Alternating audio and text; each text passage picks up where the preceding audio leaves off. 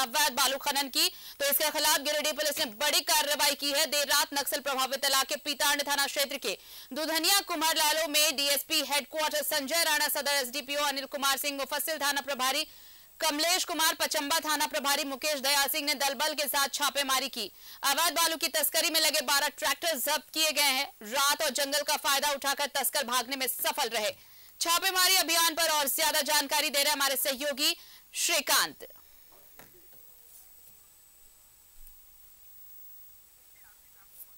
जी देखिए, आरती, मैं आपको बता दूँ कि एनजीटी के आदेश के बाद से बालू उठाव पर हर जगह पर प्रतिबंध है और रोक है।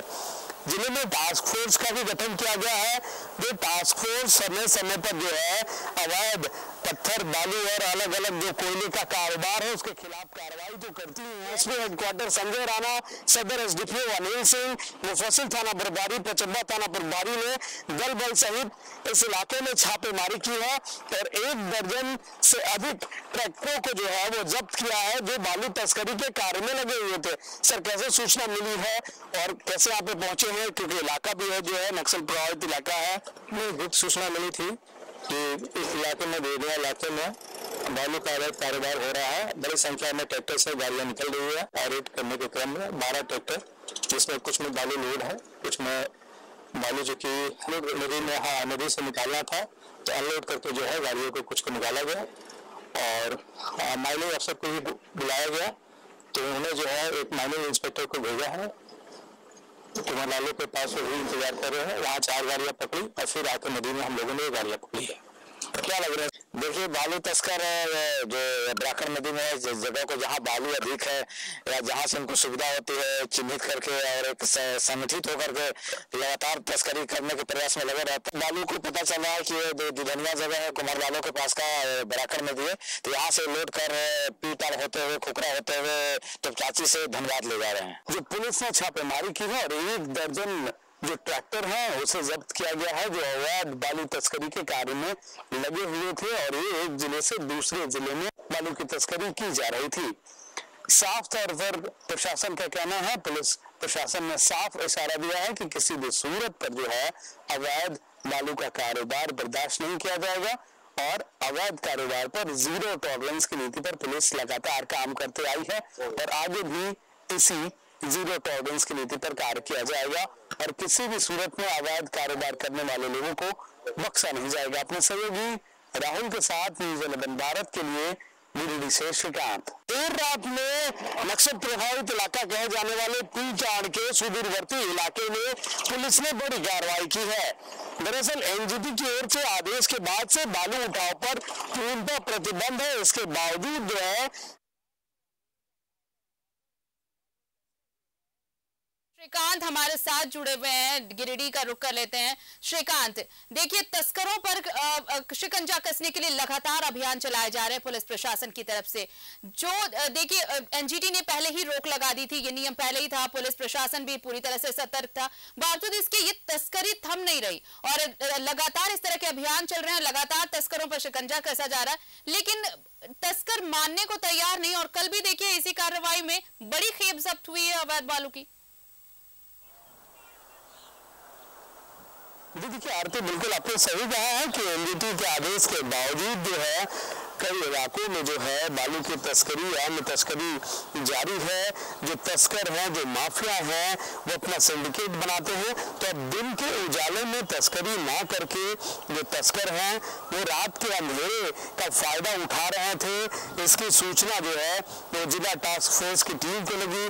पुलिस ने एक रणनीति बनाई। सदर S D Anil Singh DSP headquarter Sanjay Rana Mufassil थाना प्रभारी कमलेश पासवान और पचम्बा थाना प्रभारी चारों ने टीम बनाई और उसके बाद में सदल बल सहित रेड किया है। देर रात तकरीबन एक बजे के आसपास यह छापेमारी की गई है और जो इलाका है, आरती में आपको बता दूँ कि पूरा नक्सल प्रभावित इलाका रहा है। पीटार थाना क्षेत्र का दुधनिया जो है सूचना मिली थी कि पुलिस को जो सूचना मिली थी बालू की तस्करी वहाँ से होती है और पीटार थाना क्षेत्र होते हुए आरती ये धनबाद ज़िले तक पहुँचा दिया जाता है। सुबह सुबह जो है ये बालू इस ज़िले से जब इसकी तस्करी शुरू हो जाती है लेकिन ये बालू बास का जो जिला है धनबाद जिला वहाँ पर पहुँचाया जाता है और ऊँची कीमतों पर इसे बेचा जाता है। इसी सूचना पर पुलिस ने हम कह सकते हैं कि बड़ी कार्रवाई की है और लगभग 12 ट्रैक्टर जो अवैध बालू तस्करी में लगे हुए थे। उन्हें नदी किनारे से जब्त किया है पुलिस ने और अब पुलिस आगे की कार्रवाई करने में जुटी हुई है। पुलिस उन तस्करों की पहचान करने में जुटी हुई है। जो इस इलाकों से सैकड़ों ट्रैक्टर बालू जो है, वो हर दिन तपाया करते थे, पास के ज़िले में जो है तस्करी के लिए ले जाते थे। हालाँकि पुलिस की देर रात इस कार्रवाई से जो माफिया है, जो तस्कर है, उनमें हड़कंप है और कहीं ना कहीं इस कार्रवाई का असर भी देखने को मिलेगा। लेकिन सबसे बड़ी बात यह है कि जब हर जगह एनजीटी का आदेश लागू है, हर थाने स्तर पर लोगों को पता है कि बालू का जो उठाव है, उस पर रोक का प्रतिबंध है तो आखिर इस तरीके की तस्करी जो है, करने की हिमाकत जो है, वो तस्कर या माफिया करते कैसे ऐसे हैं। दरअसल वो अपना लोकल नक्सेस कायम करते हैं और लोकल साठ गाठ के माध्यम से वो रात का फ़ायदा उठाकर इस तरीके की तस्करी करते हैं और बालू को जो है ऊँची कीमतों पर अभी बेचा जाता है। हवाला दिया जाता है तस्करों के द्वारा कि जो एनजीटी का आदेश है, उसके बावजूद हम आपको बालू मुहैया करा रहे हैं तो आपको दुगनी कीमत देनी होगी। और जिन्हें ज़रूरत है, वो दुगनी कीमत देते भी हैं। तो इस दौरान जो है, एनजीटी के आदेश के दौरान जो तस्कर है, उनकी दोगुनी चांदी हो जाती है। क्योंकि एक एनजीटी का हवाला देते हैं और बाजारों में मोटी रकम वसूलते हैं। हालाँकि जो टास्क फोर्स है ज़िले की पुलिस ने बड़ी कार्रवाई की है और पुलिस की इस कार्रवाई से निश्चित तौर पर आने वाले समय में इसका असर भी देखने को मिलेगा। जिस तरीके से डीएसपी हेडक्वार्टर संजय राणा और एसडीपीओ अनिल सिंह ने कल जब देर रात हमने बात की, उन्होंने साफ़ तौर पर कहा है कि ज़ीरो टॉलरेंस की नीति पर हम काम कर रहे हैं और पुलिस ज़ीरो टॉलरेंस की नीति पर काम करेगी। जिस इलाके से अवैध तस्करी की सूचना मिलेगी, वहाँ पुलिस चाहे दिन हो या देर रात का समय हो पुलिस पहुंचेगी और अपने स्तर से टास्क फोर्स टीम किसी भी थाने में, किसी भी समय, किसी भी सूचना पर पहुँच सकती है। इसलिए सारे लोग जो है, इस हरकतों से बाज आए। तस्करी में जो लोग लगे हुए हैं, वो अपनी हरकतों से बाज आए और जो भी आदेश है, उस आदेश की अवहेलना जो करेंगे, उन पर तो कार्रवाई होगी ही। लेकिन साथ ही साथ जो लोग इस पूरे कारोबार में जुटे हुए हैं, उनकी भी पहचान करने में पुलिस जुटी हुई है। और उनके खिलाफ भी पुलिस ने कहा है कि प्राथमिकी दर्ज की जाएगी। तो दरअसल ये बात आप देखेंगे कि पूरे हर इलाके का यही हाल है कि रात के अंधेरे में या फिर सुबह तीन से चार का जब वक्त होता है, उस समय जो है सैकड़ों ट्रैक्टर जो है सड़क पर आपको, कोई भी सड़क पर आप जाइएगा तो आपको देखने को मिल जाएँगे, जो कि बालू लोड करके निकलते हैं। हालाँकि अब जब कल देर रात में कार्रवाई हुई है तो ये बड़ी कार्रवाई मानी जा रही है और इस बड़ी कार्रवाई से जो है बालू तस्करों में हड़कम भी देखने को मिला है। उम्मीद की जानी चाहिए कि ये उम्मीद की जानी चाहिए कि प्रशासन का खौफ हो कि अगर ये मनाही है तो मतलब मनाही है।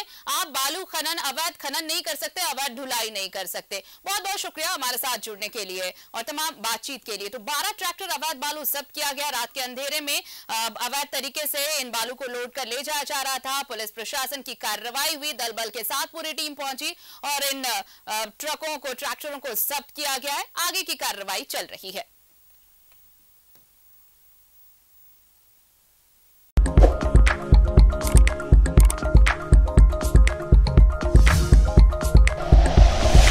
Like and share videos, subscribe करें हमारा चैनल और प्रेस करें बेल आइकॉन न्यूज़ 11 भारत सच है तो दिखेगा।